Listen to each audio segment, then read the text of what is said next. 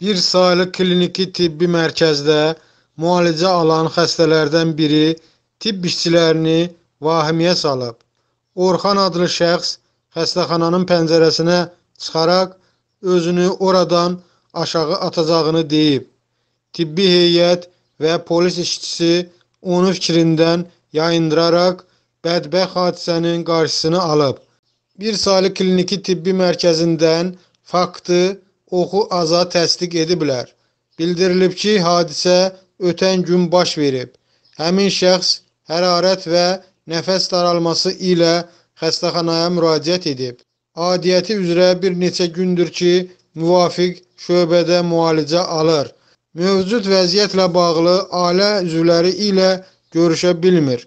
Bu səbəbdən belə bir addım ataraq diqqət çəkməyə çalışıb. Onunla söhbət aparılıb, vəziyyət izah olunub. Artıq hər şey qaydasındadır. Heç bir problem yoxdur.